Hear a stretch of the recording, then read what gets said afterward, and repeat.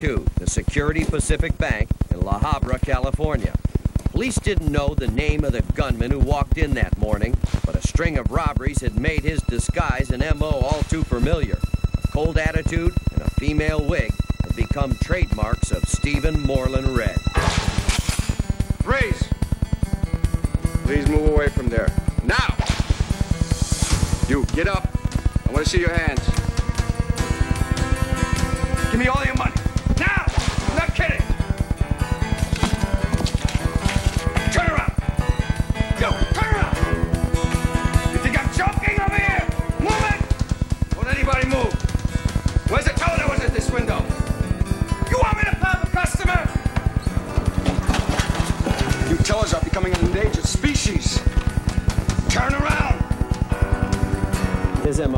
Was, unique in that he was one individual who came in and took down the whole bank. Don't be looking at me. Don't move. Don't go out there, folks. It's dangerous outside. And the alarm came into the dispatchers, and uh, two of our patrol people, Sergeant Tom Machado and uh, Corporal Jack Reese, were having coffee at a, at a coffee shop that was about a block away from Security Pacific Bank. And they came down the street and parked. Corporal Jack Reese followed him through an alley and over by an apartment complex. Oh,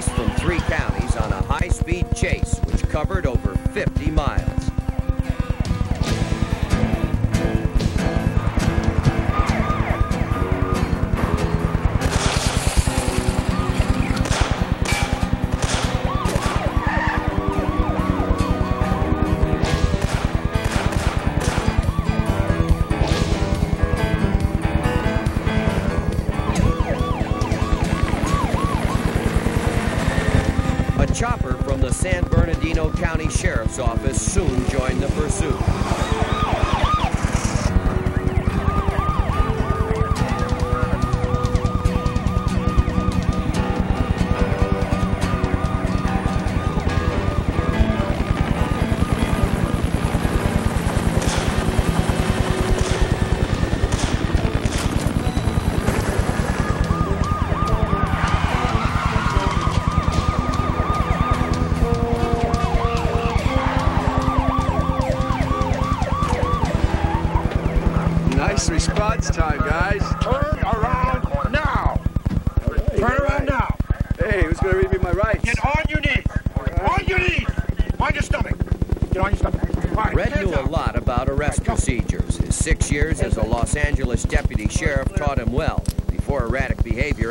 Career.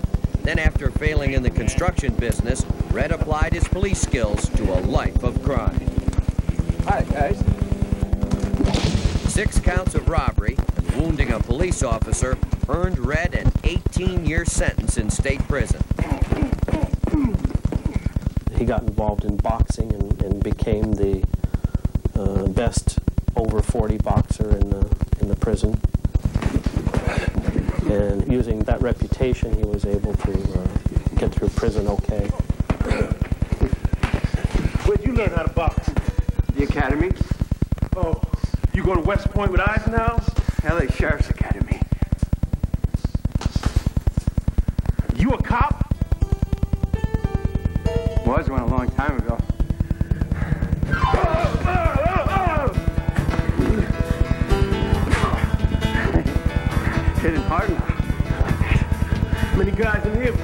Just on principle.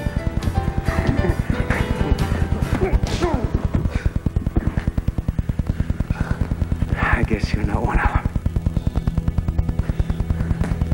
Stephen Red has always been a fighter. He even tried to break out of prison, but a bullet to the shoulder stopped him cold. Red was paroled in April 1993 after serving 11 years. He failed at one job after another, and police say he was soon back to his old tricks, armed robbery. His first target was a drugstore at a shopping center in Orange County. Two months later, on May 31st, 1994, they say he returned, wearing his trademark disguise and acting crazy.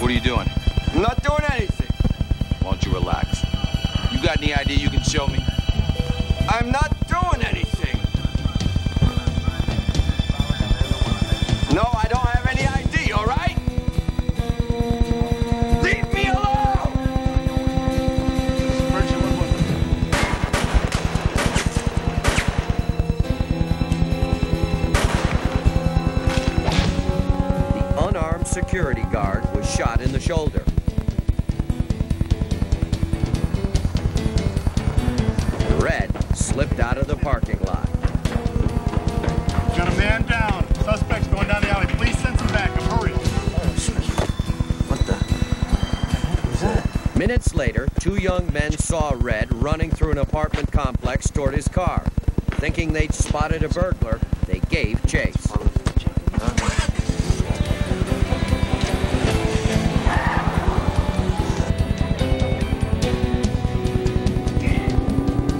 Look at that car. We can stick with them all night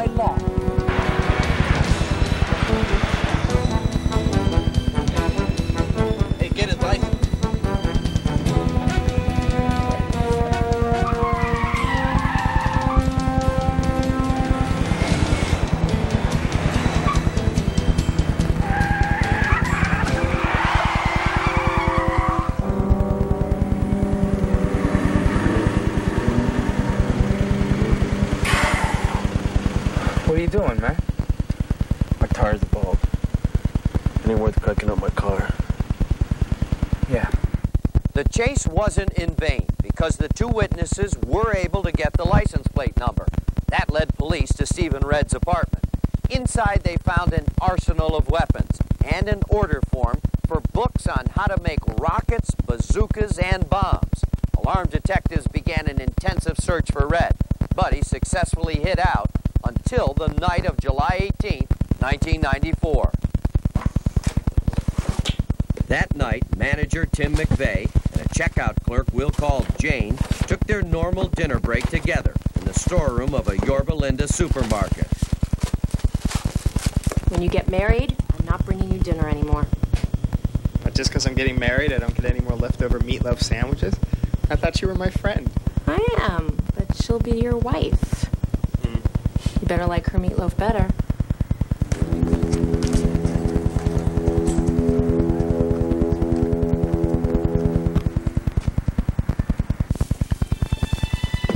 Tim and I always worked at 4 to midnight. Our regular routine till 10 o'clock is our last checker went home. After she left, it was just Tim and I in the store. Jane, I have to go back to the stockroom. I'll be right back. Okay.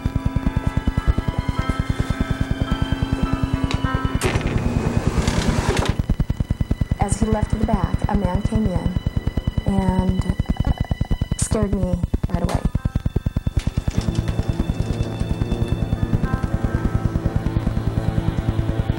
He had a wig on that did not look like normal hair.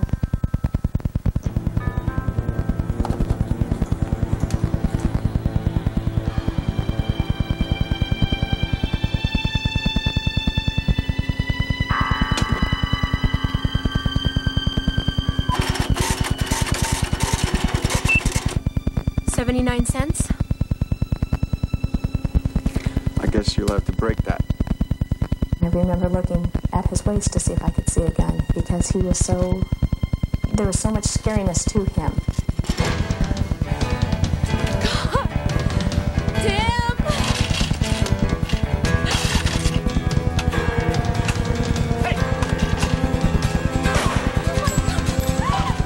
Please, please don't. I don't know why he didn't shoot. I didn't know what else to say,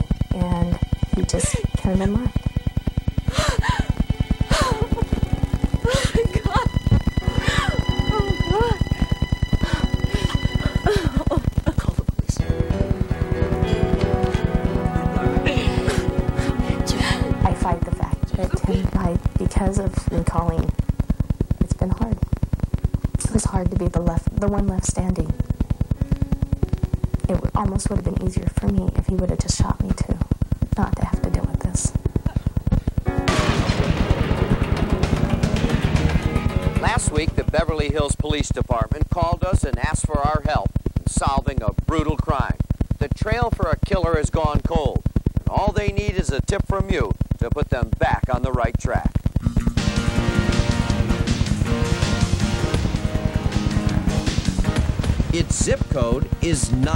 90210, Beverly Hills, California, one of the world's most affluent communities. And it was here two months ago that Denny Pleasy, a 38 year veteran of the Brinks Armored Division, was robbed and gunned down. He was a husband, a father, and a grandfather.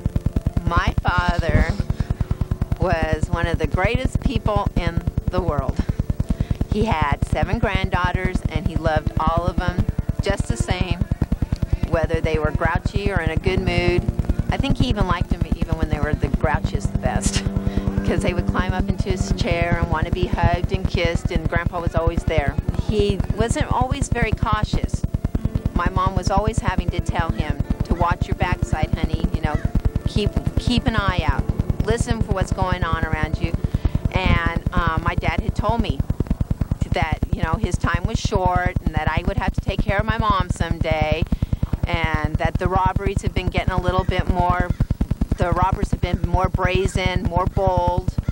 And I told my dad to protect himself. You know, do something to protect yourself, Dad. You know, wear a bulletproof vest. You know, do something. And he told me that that's not the way he would be going.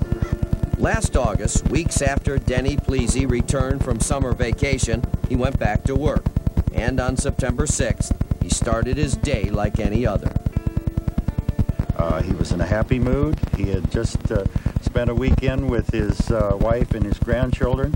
He loved his family very much, and uh, we suspected nothing. We pulled up to our usual stop, uh, Manufacturers Bank in uh, Beverly Hills. Mr. Please got out of the armored car. He went into the bank in order to uh, get uh, admitted into the bank to make his deposit there. At that point, he was confronted by a, a man who he never even saw, a man that walked up behind him as he's waiting to be uh, led into the bank, and a man who shot him in the back of the head and killed him. Shortly thereafter, a Hispanic lady came out and started speaking Spanish, which I do not speak. And I told her I tried a motion that I didn't understand. She went like this. Uh, I immediately hit uh, the siren and alarms in the truck. Beverly Hills Police uh, responded uh, in 30 seconds. Uh, they one ran to the door and opened the door and reported a man down. 60 year old Denny Pleasy died at the scene of the crime. A witness who saw the shooter helped create this composite drawing. The crime was reported on television. Then police got a break this man came forward with new information. He'd seen the shooter just a week earlier in the bank lobby. It was a week prior to the shooting when I was walking in the building and I noticed two individuals standing there. I thought it was funny that uh, they had stopped talking immediately as I entered the building. Um, when I saw the crime a week later on television, I realized it was the same two individuals I had seen. So I notified uh, Beverly Hills Police immediately and gave them the second composite of the individuals. He recognized this composite. Police now believe this similar looking composite could be a second suspect. It was a tragedy the way it happened. It should not have happened. It's an unfortunate situation. Uh, the people that did this kind of a crime planned it, anticipated what was going to happen, and they did it. I just I can't believe that they would shoot down my dad for such such a little amount of money when he would have just handed over the bag. And they they shot down my dad, my children's grandfathers, my mother's husband, and it's someone that we can never ever replace.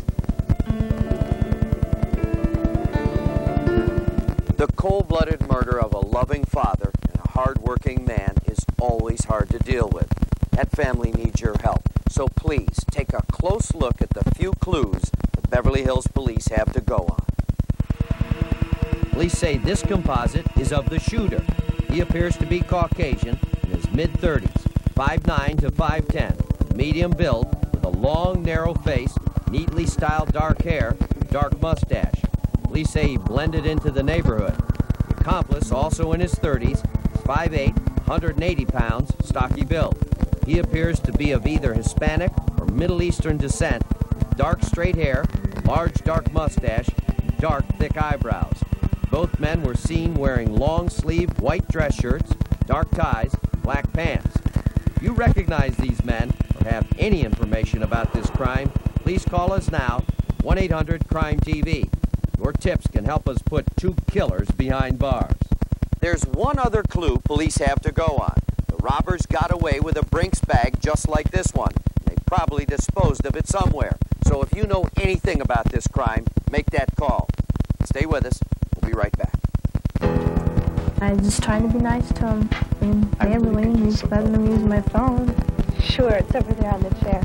Opening the door to one of America's most wanted.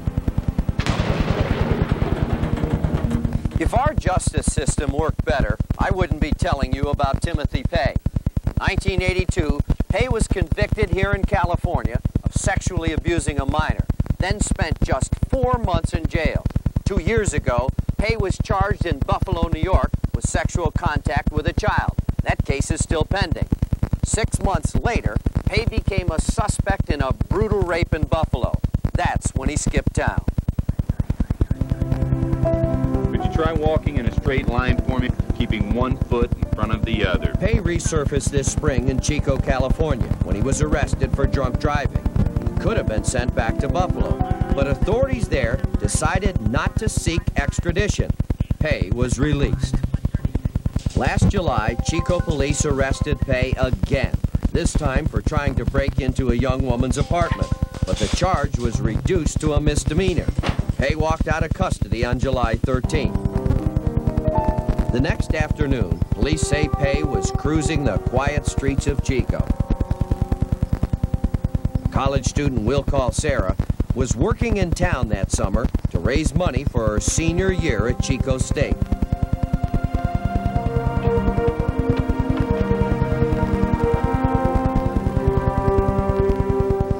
I had just gotten back home from work in the grocery store and had gone to go pick up my mail. Hi. Looks like you got your hands full. you live here? Yes. So does a friend of mine. Her name's Nancy, uh...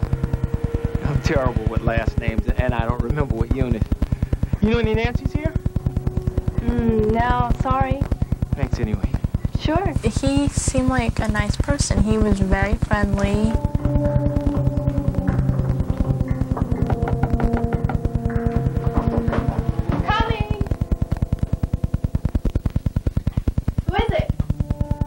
Again. I really could use some help here. I can't find Nancy's apartment, but I have a phone number. Think I could use your phone and give her a quick call? Won't take more than a minute. Sure, it's over there on the chair. Thanks. I was just trying to be nice to him. I had no idea who he was. And I just, you know, being neighborly and use, letting him use my phone and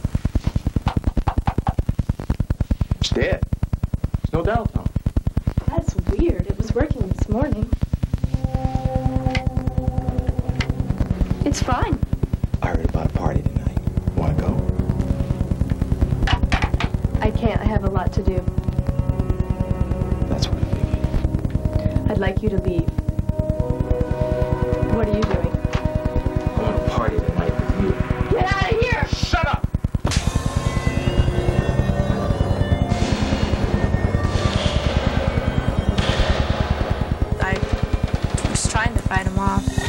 He was hitting me on my face. It was mostly the left side of my face. It was just pounding. And then he was choking me at the same time and smothering me with pillows.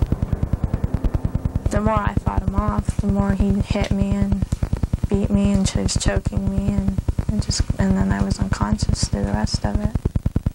I don't remember being raped at all, but when I got to the hospital and they did the tests, I knew for sure.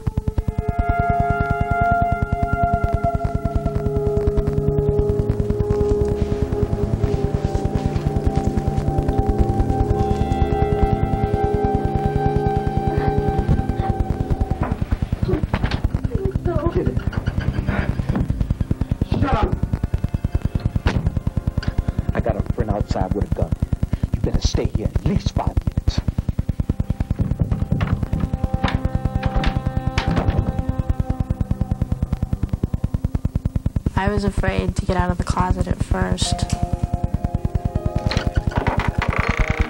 And when I finally did get out of the closet, I mean, the first thing I did was go lock the door.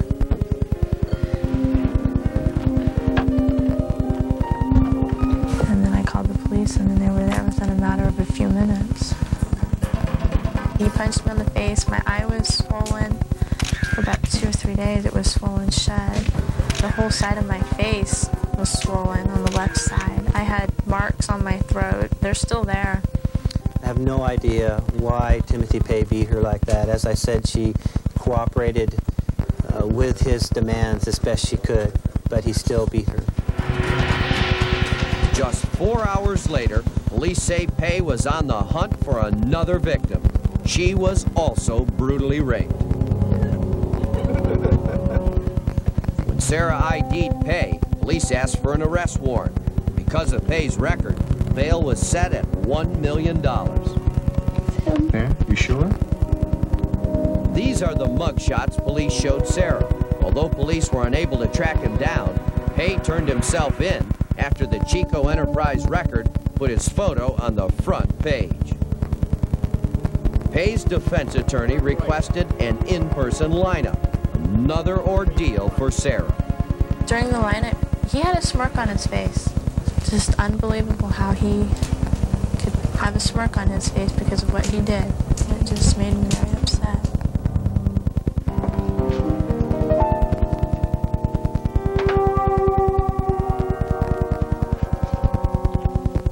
Deputy District Attorney Robert Saria took the case at the arraignment, but neither Saria nor the judge were aware the arrest warrant specified a $1 million bail.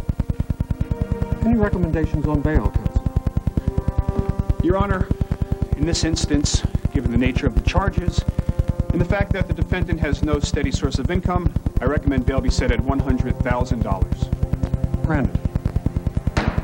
Thank you, Your Honor. Robert Saria thought $100,000 would keep Pay behind bars. Two days later, he was in for a shock. We did not know that he had a brother out of state who was a physician who had access to that kind of cash and could actually get 10% bond or $100,000 in property. We then immediately filed papers in the municipal court asking the judge to reevaluate the bail and deny him bail based upon a showing that he was a, a danger to society. He did not appear two weeks later for his court appearance, so Timothy Pay is now on the streets and women are in danger. I feel responsible. I evaluate cases differently than I did because of Timothy Pay. I was very upset at the law enforcement and this um, criminal system because they allowed something like this to happen because of a mistake. I'm afraid. I don't like to go out at dark by myself. I just want to get him caught and put back where he belongs. Timothy Pay is charged with two counts of rape, sexual abuse, and contempt of court. Timothy Pay seems to think he's above the law, but I don't think so. Tonight, let's give him a reality check. And when he's caught this time, there'll be no bail. Pay sometimes lives off of girlfriends. When he does work, it's usually in a fast food restaurant. He makes friends easily. Police say Pay's a smooth talker. That's what catches his victims off guard. He obviously comes across nice and obtains their trust and then beats them and rapes them.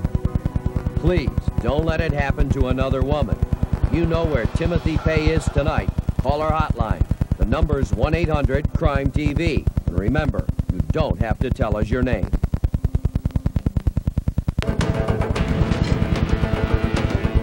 Now, here's an update on some of our recent cases. You spotted Smash Wooten in Harrisburg, Pennsylvania. Police say Wooten was part of a gang shootout that killed a seven-year-old girl. They were, of course, scared, so they were panicking, they were screaming. Some were crying. One of the children had said, she's bleeding. And at that point, she just collapsed. He's still on the run, maybe traveling to Connecticut or New York. So tonight, a special alert to our viewers in those areas. There's also new information on Christopher Goins, charged in Richmond, Virginia, with the brutal slaying of a man, his wife, and three of their children.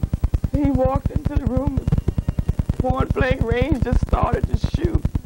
Look closely. This is the girlfriend police believe Goins is traveling with. Her name is Monique Littlejohn.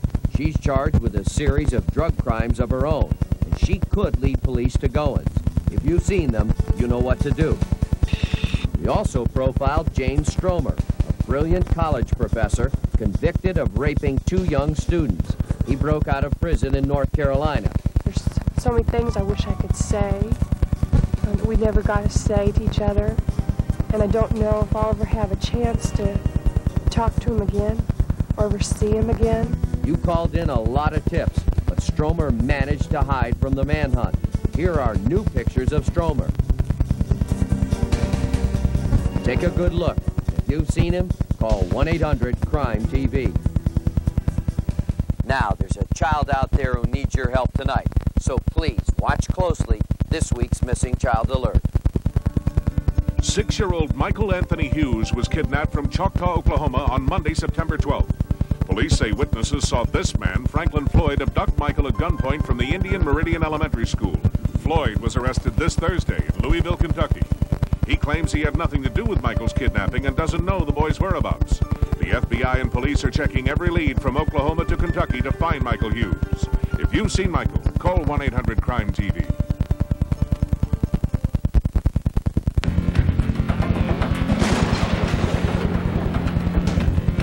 Child molesters and rapists very often repeat offenders. There are programs all across the country to try and help them, from counseling and therapy to hormone treatments. But the truth is, many of them just don't work.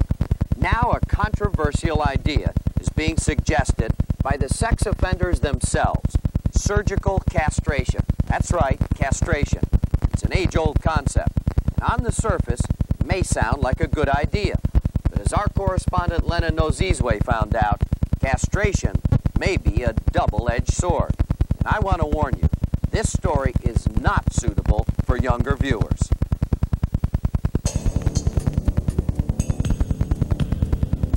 I was very sexual as a child. The first time I ever forcibly made somebody do something sexual, I was eight or nine years old. I had a hammer in my hand. I just threatened. Paul Redondo Gonzalez grew up to be the kind of criminal that's America's most hated, both inside and out of prison. A sexual predator who targets the most defenseless victims children. How many children have you molested? Too many to remember. How many children have you raped?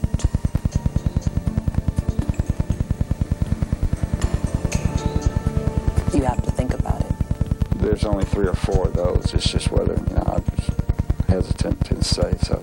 I'm you know, it's just, it's not, not like to think about.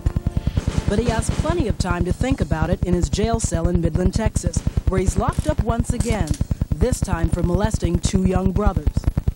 You can't stop. I can't control it. Where does this urge come from? My penis up,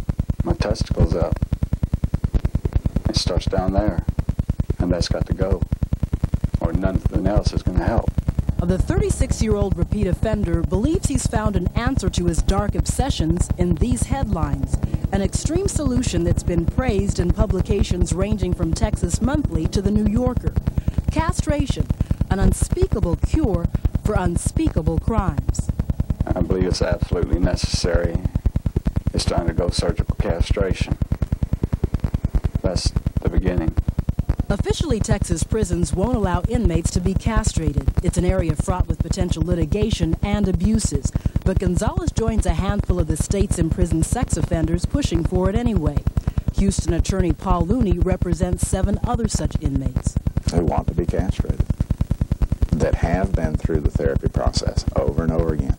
They have been unable to control their compulsive disorder. Compulsive disorders that have driven some offenders to unbelievable lengths. If you can imagine a person using a broken Coke bottle, a, a tin can lid, a table knife, to perform surgery on themselves, to remove their testicles, because nobody will make it medically available for them. That's the level of desperation. What man would do that? What woman would use a coat hanger to abort a fetus? Desperate people behave in desperate ways. When it's done the procedure is relatively quick and simple. A surgeon removes the testicles from the scrotum.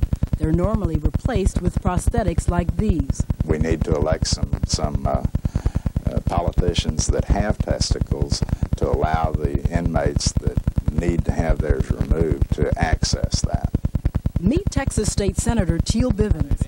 The Republican cattle rancher is pitching a bill that's already died once in committee that would allow repeat offenders to get castrated behind bars. This is a very emotional issue. It's one that uh, we, as quote a civilized nation, have felt we shouldn't have to look at. What's more barbaric?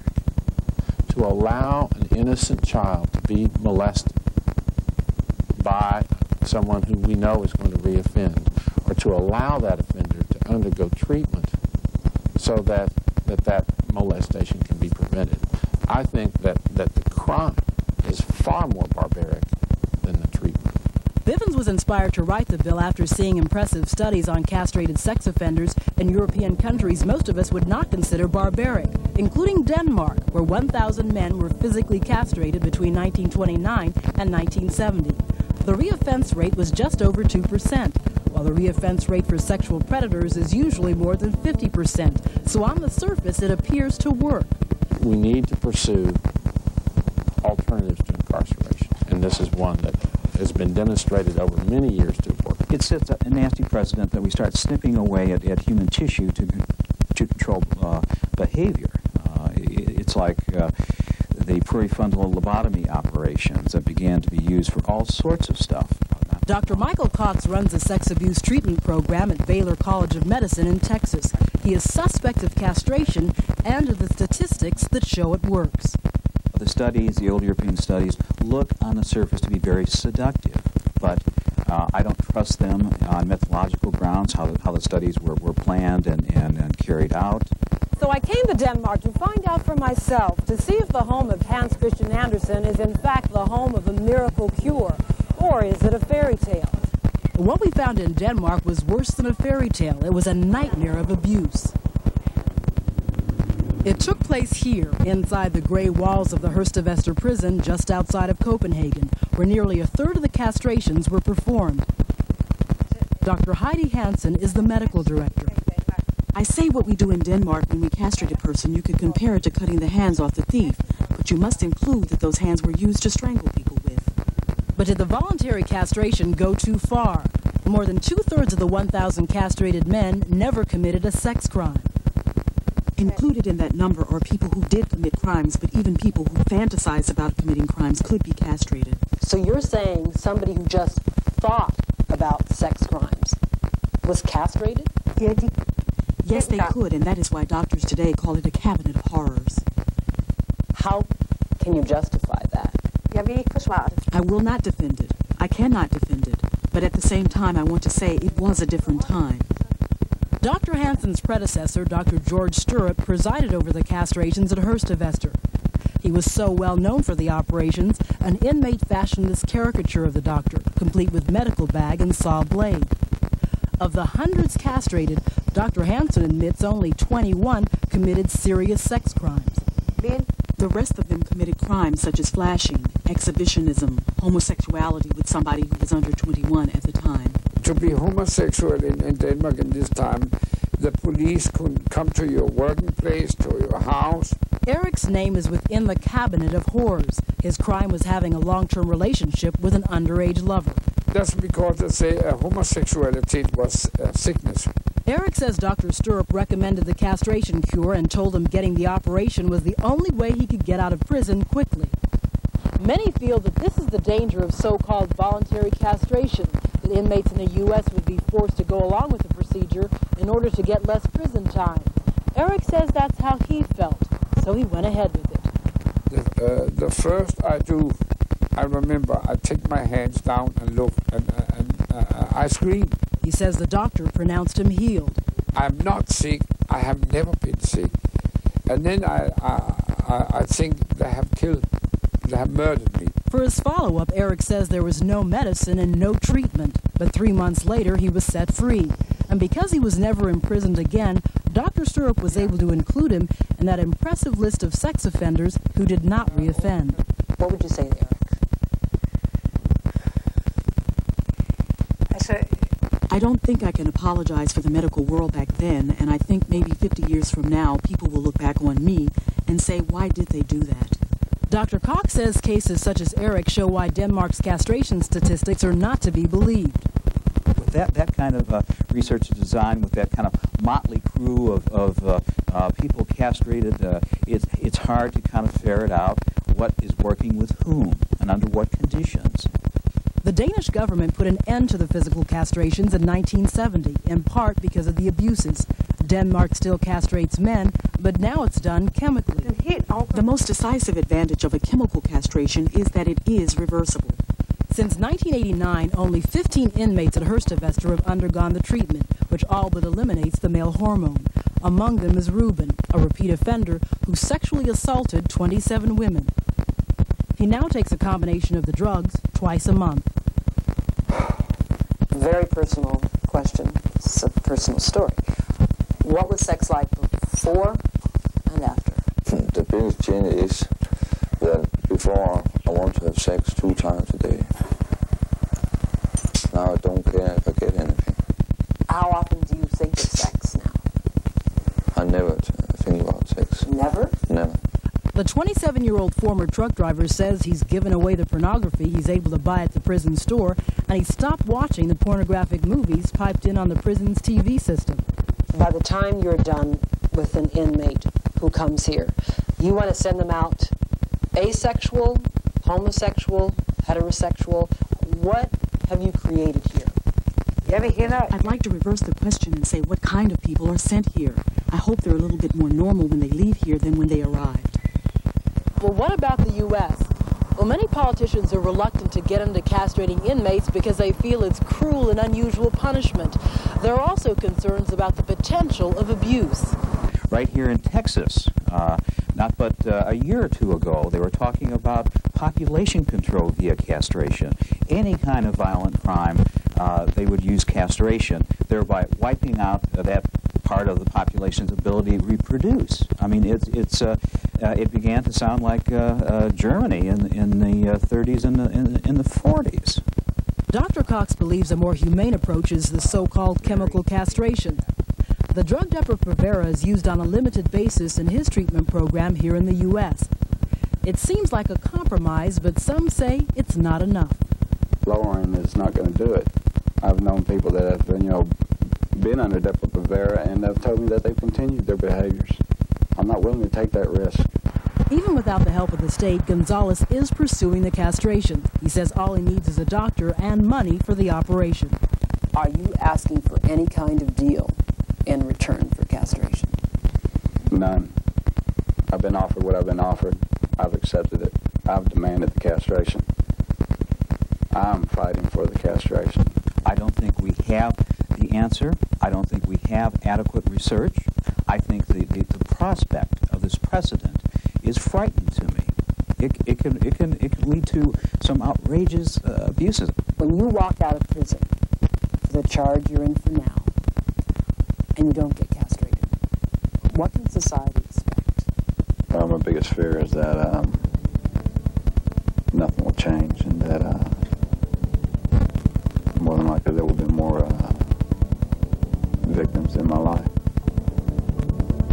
On Monday, Texas Senator Teel Bivins will be introducing the castration bill at the state legislature. And if it becomes law, offenders like Paul Gonzalez will get their wish. There's more when we come back, so stay with us.